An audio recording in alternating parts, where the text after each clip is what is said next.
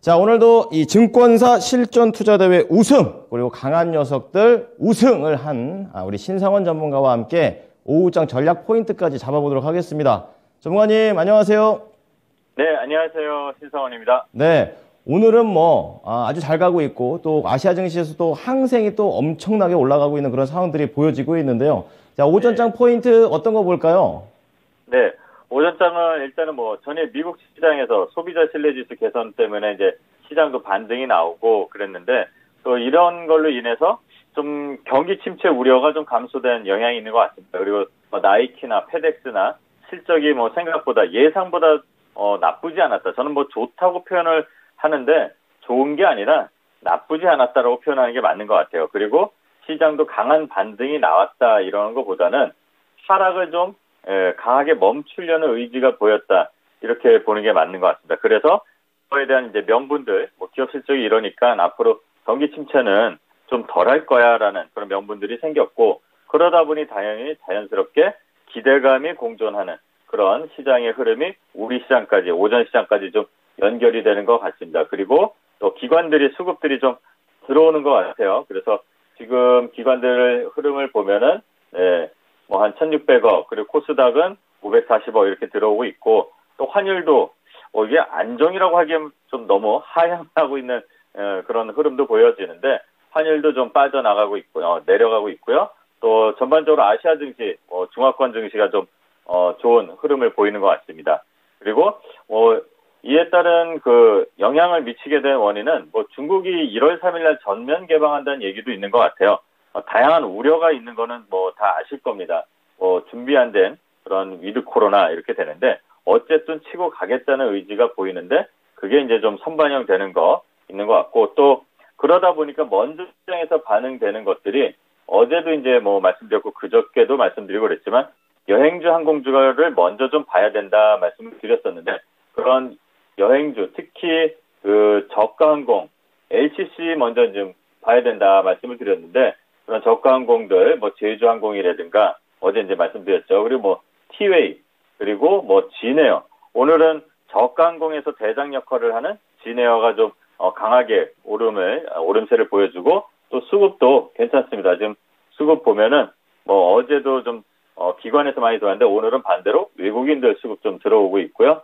또 마찬가지로 제주항공도 어제도 어, 수급들이 좀 괜찮게 들어왔었습니다. 어제 이제 어, 어, 기관들이 지금 한 달 동안 200만 주 이상 들어온다고 말씀을 드렸었는데 오늘은 수급이 좀 주춤하더라도 좀 동조 효과도 같이 올라갑니다. 그리고 여행주의 대장인 어, 하나 투어가 또 움직이고 모두 투어 따라오고 또 LCC 어, 관련해서 이 저가 항공사들이 움직이는 이유는 제가 이제 좀 여행 쪽을 좀 잘 아니까 말씀을 좀 드리자면 여행을 가려고 하다 보면은 네, 일단은 가격 부담도 없어도 되잖아요. 그래서 아까 환율도 얘기 드렸고 가까운 데부터 갑니다.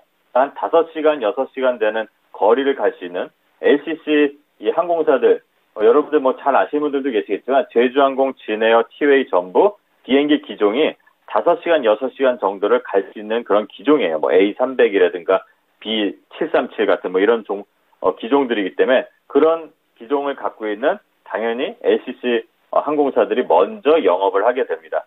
그러니까 중국이 뭐 리오프닝을 한다 그래서 중국만 보는 건 아니지만 뭐 그렇게 되면서 전반적으로 투심도 살아나고 또 업계도 이제 좀 기대감을 갖고 움직이는 뭐 그런 흐름이 오전 시장에 보이는 것 같습니다. 네. 뭐 계속해서 여행과 관련해서 종목들을 말씀을 해주셨는데 어제 이제 보신 분들께서는 오늘 좀 수익을 내고 계시지 않으실까 또 이런 생각도 듭니다. 자 그러면 오전장 봤고요. 오후장에서는 어떤 전략으로 들어가 볼까요? 네, 오후장은 어, 지금 저는 이제 좀 항상 예전에 강한 녀석들에서도 제가 뭐 운 좋게 스티커를 많이 받았지만 예, 항상 보수적으로 저는 대응을 해요. 왜냐하면 전반적으로 시장을 지금 이 차트를 이렇게 제가 좀 길게 보면 예, 아직 하락장입니다. 근데 우리가 하락장인 걸 잘 몰라요. 좀만 빨간 불이 나오면 불나방처럼 자꾸 달려드는 분들이 계신데 하락장이라는 걸 꼭 명심하고 그 구간에서 우리가 이제 어떻게 대응을 해야 될지 어, 그런 방법을 찾는 게 제일 중요하다고 저는 항상 강조 드립니다. 지금도 보시면 빨간불이 나오면서 상승이 좀 나오긴 하지만 예, 아직 갈 길 멉니다. 최소한 2,400, 2,450이라도 올해 안에 가능할지 모르겠습니다. 그 정도는 올라와야지 수심이 좀 안정될 거고 뭐 FGI 지수라든가 빅스 지수도 다 괜찮게 올라올 거라고 저는 봅니다. 그래서 지지 라인 지금 제, 어, 외국인들이 9월 29일 기준으로 해서 어, 시장에 우리 시장에 좀 많이 들어왔었습니다. 한 7조 6천억까지 갔다가 지금 좀 빠져 있고 그런데 요 지지 라인이 어, 2,300 정도입니다. 그 수급이 들어왔던 게 그러니까 지금 어, 이탈이 없이 이 구간을 좀 유지를 한다면 예, 그렇다면 어, 아마 산타랠리는 아니어도 연말까지 좀 안전하게 여기를 좀 어, 2,350, 요 정도만 회복하고 끝나도 저는 좀 괜찮다고 보고 있기 때문에 어, 이 지지 라인과 수급 체크를 좀 할 필요가 있습니다. 오늘도 아침에 보면은 요 외국인들 수급이 네 상당히 많이 한 800억 정도도 올라갔다가 지금 줄어들고 있어요. 그리고 어 여기 선물 계약 건수가 어 2천 계약으로 출발해서 지금 6천 계약으로 좀 늘어나고 있습니다. 요 긍정적인 신호거든요. 이런 것들이 좀 유지되고 기관들도 받쳐주는 지금 오전장 흐름이 유지된다면 아마 오후 시장까지도 힘 안 빠지고 좀 어, 지키 지키는 그런 흐름이 나올 것 같다고 봅니다. 오늘은 아마 지지하는 데 좀 의미를 두고 시장을 살펴보는 게 필요할 것 같고요. 그 다음에 어, 2023년을 위해서 또 제가 어제도 한번 잠깐 말씀드렸지만 앞으로 보일 만한 게 2023년 바로 한 달밖에 안 남았습니다.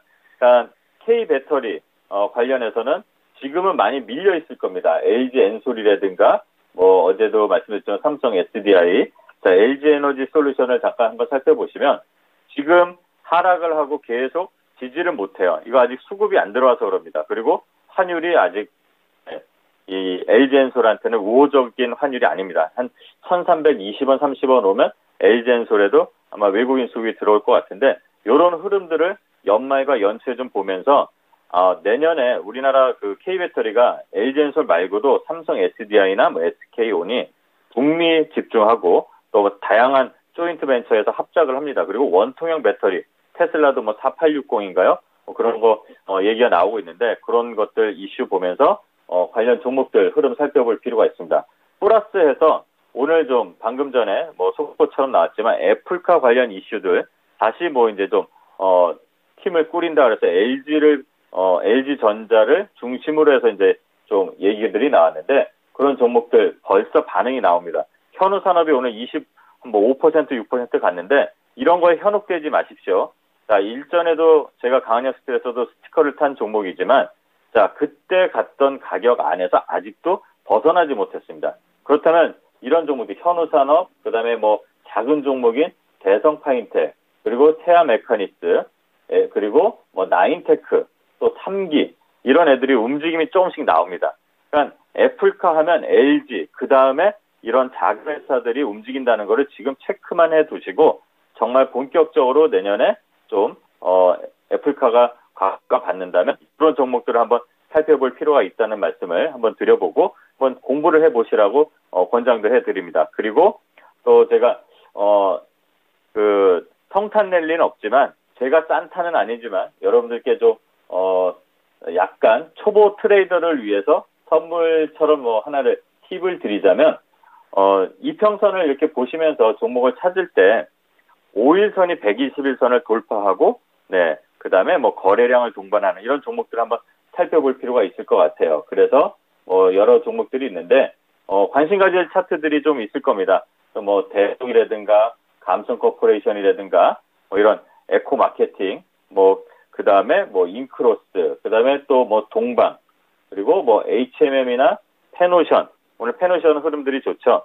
이런 종목들 어, 좀 살펴보면서 어, 차트를 볼 때 어, 제가 이제 강한녀석에서 스커를 좀 탔다고 자랑하는 게 아니라 흐름들이 다 비슷한 것들을 여러분들한테 어, 소개를 해드렸어요. 그런 걸 보면은 어 이런 하락장에서도 바닥에서 올라오는 차트들은 그래도 배신하지 않는다는 걸 압니다. 어떤 거를 보셔야 되냐면 5일선이 121선 그리고 그 위에 또 장기 평선을 돌파할 때 거래량이 동반되는 것들 이런 것들을 한번 살펴보면서 어 이러면 나도 수익을 좀 챙기고 회복할 수 있겠네라는 그런 공부를 한번 해보는 그런 시간도 가져보면 좋겠다는 말씀을 드리고요. 또 하나 말씀드릴 게 어, 지금 연말이 되는데 미국에 지금 질렌스키가 갔습니다. 그래서 어, 바이든하고 만나서 뭐 이렇게 얘기도 하고 사진도 찍고 그러는데 미국에서도 뭐 2조 정도 지원을 한다고 하죠. 이러면서 푸틴이 또 핵 위협을 합니다.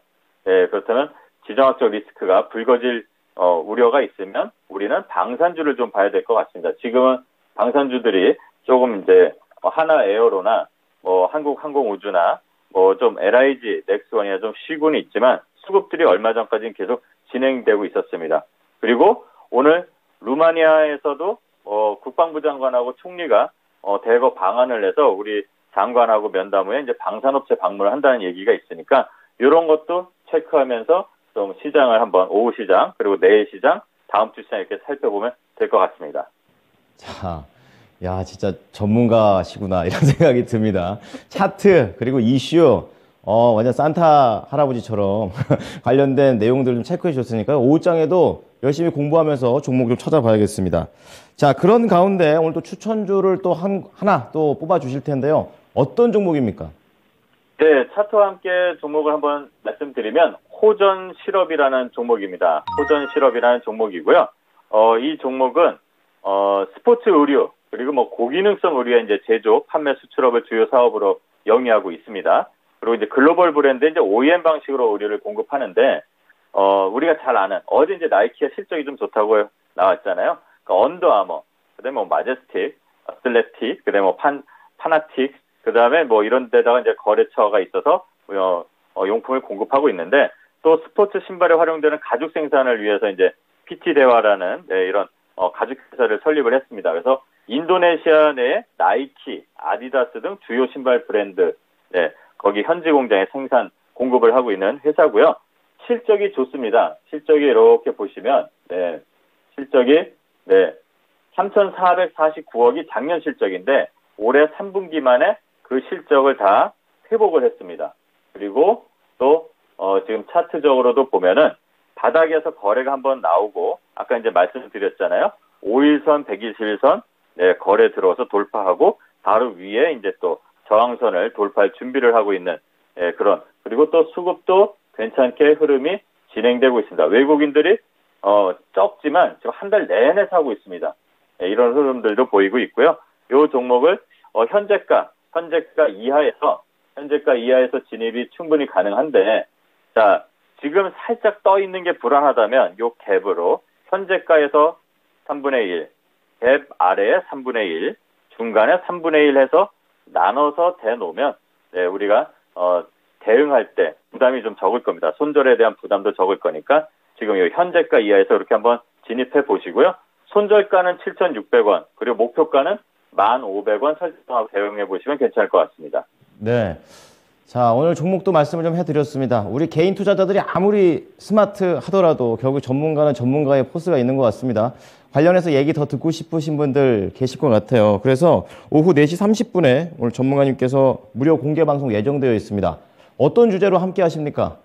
네, 제가 아까도 말씀드렸지만 어, 산타는 안 왔습니다. 하지만 제가 여러분들께 산타는 아니지만 작은 선물을 드릴 겁니다. 시장에서 살아나갈 수 있는 힘, 아까 말씀드린 5 플러스 120, 이게 뭐지? 어떤 팁이지? 궁금하신 분들은 4시 30분에 네, 저와 함께 한번 공부해 보시기 바랍니다. 네. 자, 산타 할아버지처럼 대신 역할을 해주시고 계십니다. 오늘 말씀 감사합니다. 네, 감사합니다. 신상원이었습니다. 네, 4시 30분에 공개 방송을 예정하고 있는 신상원 전문가였습니다. 많은 참여 부탁드리겠습니다. 자, 지금까지